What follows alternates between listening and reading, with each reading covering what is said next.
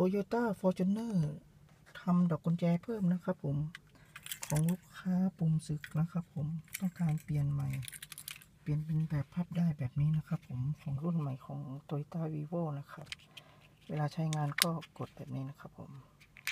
อันนี้ลงโปรแกรมเรียบร้อยแล้วครับผม ลองมาดูนะครับผม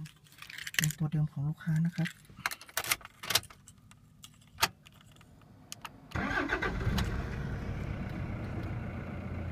ของลูกค้าสตาร์ทติดไม่มีปัญหาอะไรนะครับผมทีนี้มาดูของเราที่ทำใหม่นะครับผมภาพเก็บได้ครับ ของเราที่ทำใหม่นะครับโตโยต้านะครับ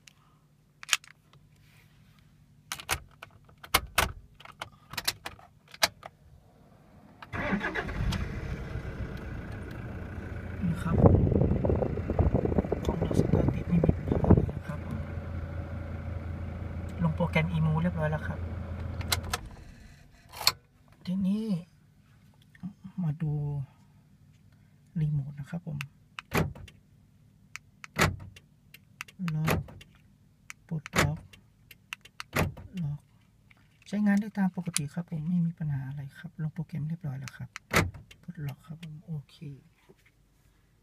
ขอขอบคุณมากครับ